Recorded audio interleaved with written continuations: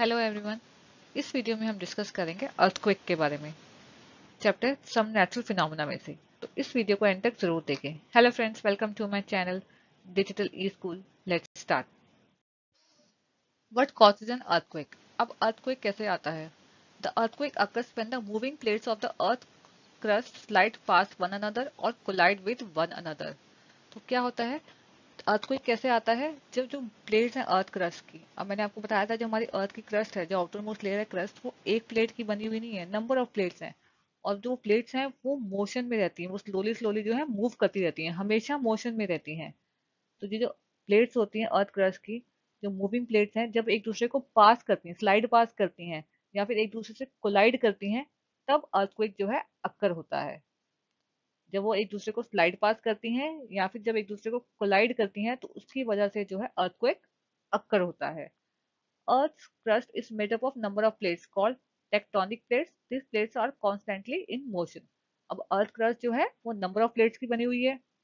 बहुत सारी प्लेट्स हैं और उन प्लेट्स को वैसे हम क्या बोलते हैं? टेक्टोनिक प्लेट्स और ये जो प्लेट्स होती हैं, ये हमेशा मोशन में रहती हैं। ये नहीं कि चल रही हैं, फिर रुक गई, चल रही ये हमेशा जो है मोशन में रहती हैं, हमेशा जो है मूव करती रहती हैं, बहुत स्लोली मूव करती हैं, लेकिन मूव करती रहती हैं। अब जो दोनों रीजन हैं अर्थक्वेक अक्कर होने के, एक तो स्लाइड पास और दूसरा जो है जब वो कोलाइड करती हैं। अब इनके बारे में हम देखते हैं डिटेल में। सबसे पहले क्या है? Plate slide past one another मतलब जब ये प्लेट्स हैं, जैसे आप फिगर में देख सकते हैं, एक दूसरे को क्या कर रही है? ये स्लाइड पास कर रही है। एक इस साइड जा रही है, एक जो है इस साइड जा रही है। तो एक दूसरे को स्लाइड पास कर रही है मतलब एक दूसरे से गुजरती हुई जा रही है। When two huge plates of earth crust slide past one another, immense pressure build up. तो क्या होता है कि जब जो प्लेट्स हैं अर्थ की जब दो ह्यूज प्लेट जो हैं वो एक दूसरे को स्लाइड पास करती है मतलब एक दूसरे से आ, साथ लगते हुए गुजरती हैं तो क्या होता है कि वो एक दूसरे को रब करती हैं तो क्या होता है कि प्लेट जो है वो रुक जाती हैं जब एक दूसरे को पास कर रही होती स्लाइड पास कर रही होती हैं तो क्या होता है वो रब एक दूसरे को रब कर रही होती हैं तो वो प्लेट जो है वो रुक जाती है क्योंकि वो जो सरफेस होता है बहुत रफ होता है तो उस रफनेस की वजह से जो है वो रुक जाती हैं। लेकिन अब प्लेट जो है वो तो मोशन में रहती है हमेशा तो वो जो है बहुत एक दूसरे को जो है प्रेशर लगा रही होती है। मतलब अपने आप को प्रेशर लगा रही होती है कि वो मूव कर सके। और प्लेट जो है बहुत ज़्यादा प्रेशर लगा रही है एक दूसरे को मूव अपने आप को मूव करने के लिए तो उसकी वजह से जो है वहाँ पे जो है प्रेशर बिल्डअप हो रहा है। तो बहुत ज़्यादा प्रेशर क्रिएट हो जाता है क्योंकि वो दो दो प्लेट जो है प्रेशर लगा रही होती है कि वो वहाँ से मूव हो जाए। When the pressure becomes high, the rocks along the plates boundaries break or slip. अब जो प्लेट्स हैं, दोनों प्लेट जो हैं, वो जो प्रेशर लगा रहे हैं कि वो मूव हो जाए तो उस जो प्रेशर है, वो इतना बिल्डअप हो जाता है, इतना ज़्यादा हाई हो जाता है। जब प्रेशर बहुत ज़्यादा हाई हो जाता है, बहुत ज़्यादा इमेंस हो जाता है तो क्या होता है कि प्लेट्स के प्लेट्स के आसपास जो रॉक्स होती हैं, वो ब्रेक हो जाती है उस प्रेशर की वजह से। अब दोनों प्लेट जो है मूव होने के लिए प्रेशर लगा रही हैं तो प्रेशर जब इतना ज़्यादा हो जाता है, इतना इमेंस हो जाता है तो जो रॉक्स होती हैं प्लेट्स के आसपास, वो ब्रेक हो जाती हैं। और जब रॉक्स ब्रेक हो जाती हैं तो बहुत सारी एनर्जी रिलीज़ हो जाती है और जो अर्थ की सरफेस है, वहाँ पे वेव्स प्रोड्यूस हो जाती हैं और अर्थ की जो सरफेस है, वो शेक करने लग जाती है। उस शेकिंग को हम बोलते हैं earthquake when the rocks of the earth crust break, the earthquake occurs releasing a tremendous amount of energy. अब जब दो प्लेट थी, एक दूसरे को स्लाइड पास कर रही थी तो एक दूसरे जब वो रब हुई तो वो जो है, उस अब जो है रफनेस होती है तो उसकी वजह से वो वहाँ पे रुक गई। अब दोनों प्लेट जो है, उनको मूव होना है। वो बहुत ज़्यादा प्रेशर लगा रही है मूव होने के लिए तो वहाँ पे जो है प्रेशर जो है बिल्डअप होता जा रहा है। जब प्रेशर बहुत ज़्यादा हाई हो जाता है तो प्लेट्स के आसपास जो रॉक्स होती हैं वो ब्रेक हो जाती हैं। तो जब रॉक्स ब्रेक होती हैं तो बहुत सारी एनर्जी रिलीज़ होती है और जो अर्थ की सरफेस है वो शेक करने लग जाती है। तो शेकिंग को हम बोलते हैं जब वो अर्थ सरफेस शेक करती है तो उसे हम बोलते हैं अर्थक्वेक तो ये फ़र्स्ट रीजन है कि अर्थक्वेक कैसे आता है। अब हम देखते हैं सेकेंड रीजन सेकेंड क्या है? Plates collide with one another अब जब प्लेट जो है एक दूसरे को कोलाइड करती है मतलब एक प्लेट जो है इस डायरेक्शन में जा रही है और एक प्लेट जो है इस डायरेक्शन में जा रही है। तो जब दो प्लेट्स दो ऑपोजिट डायरेक्शन में जा रही हैं और वो एक दूसरे से टकराती हैं कोलाइड करती हैं तब अर्थक्वेक आता है। कैसे आता है?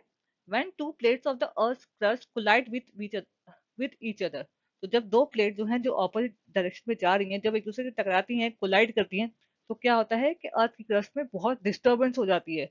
They cause disturbance in the earth crust तो वहाँ पे जो है बहुत डिस्टर्बेंस हो जाती है तो उसकी वजह से जो है बहुत एनर्जी जो है रिलीज़ होती है, और जो वेव्स हैं वो प्रोड्यूस हो जाती हैं अर्थ की सरफेस पे। वो जो वेव्स प्रोड्यूस होती हैं, उसे हम बोलते हैं सिस्मिक वेव्स इनके बारे में हम आगे देखते हैं। तो वेव प्रोड्यूस होती है, जो अर्थ की सरफेस है, वो शेक करने लग जाती है। उस शेकिंग को हम बोलते हैं, जो शेकिंग हमें फेल्ट होती है, उसे हम बोलते हैं earthquake due to which a tremendous amount of energy is released, causing shaking on the earth surface this shaking is felt as an earthquake. तो क्या होता है कि जब दो प्लेट्स ऑपोजिट डायरेक्शन में मूव कर रही होती हैं और एक दूसरे से कोलाइड करती हैं, एक दूसरे से टकराती हैं तो क्या होता है कि अर्थ की क्रस्ट में डिस्टर्बेंस हो जाती है, जिसकी वजह से बहुत सारी एनर्जी रिलीज़ होती है और जो अर्थ की सरफेस है वो शेक करने लग जाती है। उस शेकिंग को हम बोलते हैं अर्थक्विक तो ये दो रीजन थे कि अर्थक्विक क्यों आता है। जब दो प्लेट जो है एक दूसरे को स्लाइड पास करती है या फिर एक दूसरे से कोलाइड करती हैं। तो इनकी वजह से जो है अर्थक्विक अक्कर होता है। और एक और इम्पोर्टेंट नोट है, वो क्या है कि tremors on the earth can also be caused when a volcano erupts or a meteor hits the earth or an underground nuclear explosion is carried out तो जो ट्रेमर्स होते हैं शेकिंग होती है अर्थ की, वो और भी कुछ रीजन से होती है। वो क्या होता है, जब कोई वॉल्कनो वॉल्कनो इरप्ट होता है। जब कोई वॉल्कनो इरप्ट हो, तब भी ट्रेमर्स फेल्ट हो सकते हैं अर्थ में। अगर कोई मिटोर हिट करे अर्थ को तब भी ट्रेमर्स फेल्ट हो सकते हैं या फिर कोई अंडरग्राउंड मतलब कोई अंडरग्राउंड कोई न्यूक्लियर एक्सप्लोजन हो, कोई कैरिड आउट हुआ हो न्यूक्लियर एक्सप्लोजन किया गया हो तो भी जो है अर्थ की सरफेस पे ट्रेमर जो है शेकिंग जो है महसूस की जा सकती है। अब हमने देख लिया कि अर्थ क्विक कैसे आपका होता है, कैसे कॉज होता है। अब कुछ टर्म्स है इससे रिलेटेड उनके बारे में हम देखते हैं आगे। कुछ टर्म्स हैं रिलेटेड टू अर्थ वो देख लेते हैं। सिस्मिक जोन तो सिस्मिक जोन क्या होता है? The weak zones where earthquake are more likely to occur are known as seismic zones और फॉल्ट जोन जो वीक जोन्स होते हैं मतलब जो ऐसे जोन्स होते हैं जहाँ पे अर्थक्विक जो है, बहुत ज़्यादा आते हैं तो उन्हें हम बोलते हैं सिस्मिक जोन या फिर फॉल्ट जोन्स जो वीक जोन्स होते हैं अर्थ के, जहाँ पे अर्थक्विक जो है, बहुत ज़्यादा आते रहते हैं तो उन्हें हम वीक जोन्स को हम क्या बोलते हैं सिस्मिक जोन या फिर fault zone earthquakes are caused by the movement of the plates ये तो हमने देख ही लिया है कि हमारी जो प्लेट्स हैं अर्थ क्रस्ट की, वो जो हमेशा मोशन में रहती हैं।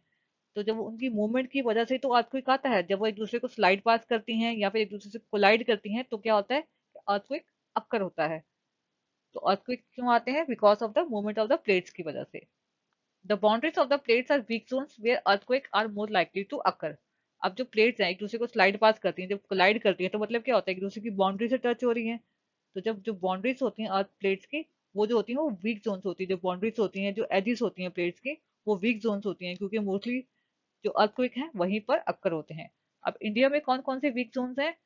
India the areas most threaten are Kashmir western and central Himalaya the whole of north east Rann of Kutch and Rajasthan and some areas of the south India also fall in the danger zone तो जो ये areas है ना India के, ये week zone है, जहाँ पे जो है अर्थक्विक जो है मोस्टली अक्कर होते हैं। कौन कौन से हैं? कश्मीर है, वेस्टर्न सेंट्रल हिमालयस है, नॉर्थ ईस्ट है, रन ऑफ़ कच्छ है, राजस्थान है और कुछ एरिया साउथ इंडिया के भी हैं। वो भी सिस्मिक जोन में आते हैं, डेंजर जोन में आते हैं। Next is Richter scale. अब रिचर स्केल क्या होता है? The power of an earthquake is express in terms of magnitude on a scale. अब पहले आप ये देखिए कि जो अर्थक्विक की जो पावर है मतलब अर्थक्विक कितना आया है, उसकी जो पावर है, वो होती है, वो हम देखते हैं कि इसमें एक्सप्रेस करते हैं मैग्नीट्यूड में। उसे मैग्नीट्यूड में देखा जाता है। और उसको कहाँ पे देखते हैं, कितना मैग्नीट्यूड आया स्केल पे, उस स्केल को बोलते हैं रिचर स्केल। तो पावर हम देखते हैं मैग्नीट्यूड में और मैग्नीट्यूड कितना गया है मतलब कितना, कितनी पावर का अर्थक्विक आया है, वो हम देखते हैं रिचर स्केल पे। उससे पता चल जाता है कि जो अर्थक्विक है वो कितना डिस्ट्रक्टिव है उसके मैग्नीट्यूड से पता चल जाता है। Destructive earthquakes have magnitudes higher than seven मतलब अगर सेवन मैग्नीट्यूड से ज़्यादा का अर्थक्विक आए तो वो डिस्ट्रक्टिव होता है, वो मेजर होता है। अब जो भुज और कश्मीर में आया था, उसका जो मैग्नीट्यूड था ना, वो 7.5 से ज़्यादा था। Both Bhuj and Kashmir earthquakes had magnitude greater than 7.5 इनका जो मैग्नीट्यूड है, वो 7.5 से ज़्यादा था, इसलिए ये बहुत ज़्यादा मेजर थे, बहुत ज़्यादा डिस्ट्रक्टिव थे। तो अब हमने सिस्मिक जोन और रिचर स्केल के बारे में देख लिया। आगे हम देखते हैं सिस्मोग्राफ के बारे में। नेक्स्ट इज़ सिस्मोग्राफ अब सिस्मोग्राफ क्या होता है? Earthquake tremors produce waves on the surface of the earth these are called seismic waves जब अर्थक्विक आता है, जब अर्थ शेक करने लग जाती है, जब ट्रेमर्स प्रोड्यूस होते हैं तो क्या होता है कि अर्थ की सरफेस पे वेव्स प्रोड्यूस होती हैं। उन वेव्स को हम बोलते हैं सिस्मिक वेव अब मैंने आपको बताया था कि जब दो प्लेट्स एक दूसरे को स्लाइड पास करती हैं या फिर एक दूसरे से कोलाइड करती हैं तो क्या होता है, बहुत सारी एनर्जी रिलीज़ होती है और जो वेव्स प्रोड्यूस होती हैं अर्थ की सरफेस पे, जब अर्थ शेक करती है तो वेव्स प्रोड्यूस होती हैं। उन वेव्स को हम बोलते हैं seismic waves the waves are recorded by an instrument called the seismograph तो जो इंस्ट्रूमेंट इस वेव्स को रिकॉर्ड करता है, उसे हम बोलते हैं सिस्मोग्राफ ये कैसे काम करता है, देखते हैं हम आगे। The instrument is consist of heavy weight suspended freely with the help of a spring from a strong strong support तो क्या होता है कि इंस्ट्रूमेंट किसका, आप यहाँ फिगर में देख सकते हैं तो इस तरह का कोई, इस तरह का इंस्ट्रूमेंट होता है। तो क्या होता है कि इंस्ट्रूमेंट में क्या होता है कि हैवी वेट होता है, इसे हम बोलते हैं हैवी वेट तो एक हैवी वेट वेट होता है। ये क्या होता है अटैच होता है एक स्ट्रिंग के साथ। स्ट्रिंग के साथ अटैच होता है बिल्कुल फ्रीली सस्पेंड होता है ये। स्ट्रिंग के साथ अटैच होता है और ये स्ट्रिंग जो है एक स्ट्रॉन्ग सपोर्ट के साथ अटैच होता है। मतलब ये जो सपोर्ट होता है, ये अर्थ की सरफेस पे लगा होता है, इसके साथ जुड़ा होता है। तो क्या होता है कि एक सपोर्ट के साथ एक स्प्रिंग लगा होता है और स्प्रिंग के फ्रीली सस्पेंड होता है एक हैवी वेट अब इस हैवी वेट के साथ जो है एक पेन लगा होता है, यहाँ पे। यहाँ पे जो है हैवी वेट के साथ क्या होता है, एक पेन लगा होता है और इस पेन के नीचे क्या होता है, एक ड्रम होता है जो रोटेट कर सकता है। उस पर जो होता है ग्राफ पेपर लगा होता है। The pen is attach to the weight rotating drum with graph paper lie with the pen ठीक है? तो एक पेन लगा होता है हैवी वेट के साथ, और उसके नीचे होता है एक रोटेटिंग ड्रम जो रोटेट कर सकता है उस पर लगा होता है ग्राफ पेपर ठीक है? तो जब अर्थक्विक आता है, when the, when earth shakes, due to earthquake, the base of seismograph also shakes. तो जब अर्थक्विक आता है, अब जो है अर्थक्विक आया, जब अर्थ शेक कर रही है तो जो बेस है सिस्मोग्राफ का, वो भी शेक करने लग जाता है, वो भी शेक करने लग जाता है लेकिन बट द हैवी वेट जो हैवी वेट है, वो शेक नहीं करता, वो स्टेशनरी रहता है।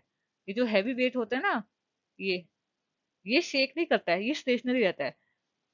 सिस्मोग्राफ का बेस जो है, वो शेक कर रहा है, लेकिन ये जो हैवी वेट है, वो शेक नहीं करता है। And the drum with the graph paper shakes and the pen attached to suspended weight records the vibration produced by the earthquake on the graph paper लेकिन जो ड्रम है जिसपे ग्राफ पेपर लगा होता है, वो भी शेक करने लग जाता है, और जो पेन अटैच होता है उस वेट को। ये जो पेन अटैच है ना वेट पे ये क्या है ये रिकॉर्ड कर लेता है जो वाइब्रेशन प्रोड्यूस होती है जो वाइब्रेशन प्रोड्यूस होती है ना अर्थ पे जब आता है तो क्या होता है वाइब्रेशन होती है ना अर्थ शेक करने जाती है जो वाइब्रेशन प्रोड्यूस होती है वो ग्राफ पेपर पे उसको रिकॉर्ड कर लेता है पेन तो वो जो पेपर पेन होता है वो रिकॉर्ड कर लेता है उन वाइब्रेशन को हम क्या बोलते हैं seismic wave It records seismic waves on a paper. By studying this wave, scientists can construct a complete map of the earthquake. तो सिस्मिक वेव्स को रिकॉर्ड कर लेता है पेपर को और उनको जो है साइंटिस्ट स्टडी करके जो है पूरा मैप बना लेते हैं अर्थक्विक का, कि कहाँ पे अर्थक्विक आया है, क्या उसका एपी सेंटर है, क्या फोकस है, कितने मैग्नीट्यूड का है।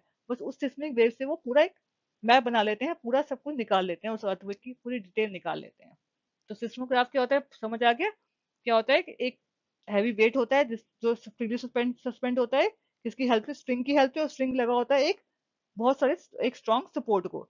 और वो सपोर्ट जो होता है, वो अर्थ की सरफेस पे लगा होता है। तो जब अर्थक्विक आता है तो जो बेस है सिस्मोग्राफ का, वो जो है शेक करने लग जाता है, लेकिन जो हैवी वेट है, वो शेक नहीं करता है, वो स्टेशनरी रहता है, उस हैवी वेट के साथ एक पेन लगा होता है, और पेन के नीचे होता है एक रोटेटिंग ड्रम जिसपे ग्राफ पेपर लगा होता है। तो जब अर्थक्विक आता है तो सिस्मोग्राफ का बेस जो है शेक करता है, वो हैवी वेट जो है, वो शेक नहीं करता, और जो ड्रम है, वो भी शेक करने लग जाता है। तो वो जो पेन है, वो वाइब्रेशन को जो है रिकॉर्ड कर लेता है उस ग्राफ पेपर पे, जो ड्रम के साथ ग्राफ पेपर लगा हुआ उस पर रिकॉर्ड कर लेता है सिस्मिक वेव्स को रिकॉर्ड कर लेता है और साइंटिस्ट उसको स्टडी करके पूरा मैप बना लेते हैं अर्थक्विक का। तो सिस्मोग्राफ क्या होता है देख लिया अब आगे देखते हैं कि हमें क्या करना चाहिए अब अर्थक्विक अगर हो जाए। Last is protection against earthquakes अब अर्थक्विक्स के अगेंस्ट हम कैसे अपने आप को प्रोटेक्ट कर सकते हैं? Earthquake earthquakes can be highly destructive as as they are not predictable, so it is necessary to take some precautions अब हमें ये पता है कि earthquakes अगर मेजर earthquakes आते तो कितने डिस्ट्रक्टिव हो सकते हैं। बट ये प्रिडिक्टेबल नहीं होते होते। इनको प्रिडिक्ट नहीं किया जा सकता तो इसलिए बहुत ज़रूरी है कि हम पहले से ही प्रिकॉशंस लेके चलें। कहाँ पर स्पेशली वो जोन्स जहाँ पे मतलब जो वीक जोन्स होती हैं, जो सिस्मिक जोन्स है, जो फॉल्ट जोन्स है स्पेशली वहाँ पे जो लोग रहते हैं, उनको तो पहले से ही प्रिकॉशन लेके रखना चाहिए। All the buildings and houses in seismic zone should be designed in such a way that they can withstand major tremors अब जो सिस्मिक जोन है, हमें पता ही है कि वहाँ पे जो अर्थक्विक्स हैं, वो कभी भी आ सकते हैं और कितने डेंजरस हो सकते हैं। तो इसलिए पहले से जो वहाँ पे जो लोग रहते हैं मतलब वहाँ पे जो लोग घरों में रहते हैं, वो जो घर है, वो जो बिल्डिंग्स है, वो इस तरह से डिज़ाइन करें कि वो जो अर्थक्विक को, जो ट्रेमर्स हैं, उनको झेल सकें, जो शेकिंग होती है अर्थ को, उसको झेल सकें, इस तरह से कंस्ट्रक्ट किए जाएँ। In highly seismic area, the use of mud or timber is better than using heavy construction material. In case the structure falls, the damage will not be heavy. अब जो सिस्मिक एरियाज़ हैं जो weak Jones हैं वहाँ पे क्या करें जो घर कंस्ट्रक्शन करें ना उसको उसमें मड और टिम्बर का इस्तेमाल किया जाए मतलब हैवी कंस्ट्रक्शन मटेरियल ना यूज़ किया जाए टिम्बर या फिर मड का इस्तेमाल किया जाए क्योंकि अगर बाई चांस वो स्ट्रक्चर फॉल हो जाए वो बिल्डिंग गिर जाए वो कंस्ट्रक्शन जो है टूट जाए तो डैमेज जो है वो ज़्यादा हैवी ना हो ज़्यादा हैवी ना हो ठीक है? The cupboard and the shelf should be fix to the wall so they do not fall easily जो कपबोर्ड्स होती हैं, जो सेल्स होती हैं, जो सिस्मिक्स एरिया उनकी बात हो रही है, वहाँ पे जो कपबोर्ड्स एंड सेल्स है, उनको क्या करो? वॉल्स के साथ फिक्स कर दो। क्योंकि जब अगर वो शेकिंग हो अर्थ की तो वो गिर ना जाए। कोई बैठा हो, उसके ऊपर कब कपबोर्ड गिर जाए या शेल्फ गिर जाए तो वो मर सकता है। तो इसलिए वो इसको जो है वॉल्स के साथ माउंट कर दो। The object like clocks photo frames water heater should be mounted properly to the wall so they should not fall on the people during earthquake. तो जो ऑब्जेक्ट्स हैं जैसे क्लॉक हो गया फ़ोटो फ्रेम हो गया वाटर हीटर जो होते हैं, कितने हैवी होते हैं तो प्रॉपरली माउंट हो मतलब प्रॉपरली लगे हो वॉल के साथ कि अगर अगर बाय चांस अर्थक्वेक की वजह से वो गिरने वाले, गिर जाते हैं तो किसी के ऊपर गिरे ना, किसी के ऊपर गिरे ना तो इस तरह से उसको माउंट कर दो all building should have fire fighting equipment in working order अब हर बिल्डिंग के पास जो है फायर फाइटिंग इक्विपमेंट होता है, वो होना चाहिए, क्योंकि अर्थक्वेक की वजह से आग भी लग सकती है तो उससे बचने के लिए इक्विपमेंट होना चाहिए। If you are at home अगर आप घर पे हैं तो आप क्या करें? अर्थक्वेक आ जाए। Take shelter under the table and stay there till the shaking अब, आप घर पे हैं और अगर अर्थक्वेक आ जाता है तो क्या करें? आप टेबल के नीचे बैठ जाए और तब तक वहीं रहें जब तक शेकिंग बंद ना हो जाए और जो है शेक करना बंद ना कर दे। Stay away from tall and heavy objects they that may fall on you जो टॉल और जो हैवी ऑब्जेक्ट्स है कबर्ड्स हो गए शेल्स हो गए, इनसे दूर रहे। कहीं शेकिंग की वजह से गिर जाए, आपके ऊपर ना गिर जाए। If you are in bed do not get up protect your head with a pillow अब बेड पे लेटे हुए हैं और एकदम से अर्थक्वेक आ जाए तो क्या करें? आपने आपको अपने हेड पे पिलो रख लीजिए और वहाँ से उठे ना if you are at outdoor अगर आप बाहर हैं तो क्या करें?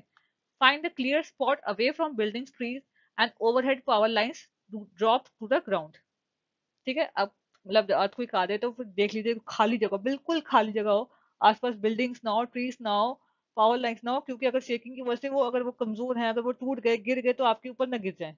इसलिए बिल्कुल खाली स्पॉट पे, बिल्कुल क्लियर स्पॉट पे चले जाए। If you are in a car or a bus do not come out drive car slowly do not come out till the tremor stop अगर आप कार में हैं बस में हैं तो बाहर ना आए। बहुत धीरे धीरे जो है कार और बस को जो है चलाएँ और तब तक बाहर ना आए जब तक ये जो ट्रेमर्स हैं शेकिंग जो है, ये स्टॉप ना हो जाए। ठीक है? तो यहाँ पे हमारा कंप्लीट हो गया। अगर आपको कोई भी डाउट हो तो मुझे कमेंट सेक्शन में ज़रूर बताएँ। अगर आपको साइंस और मैथ्स के रिलेटेड वीडियोस देखनी हो तो आप मेरे चैनल के प्लेलिस्ट में जाके देख सकते हैं। और अगर आपने मेरा चैनल अभी तक सब्सक्राइब नहीं किया है तो प्लीज़ मेरे चैनल को सब्सक्राइब कर लीजिए। और अगर आपको मेरी वीडियोज़ पसंद आए तो अपनी फैमिली और फ्रेंड्स के साथ शेयर करें। Thank you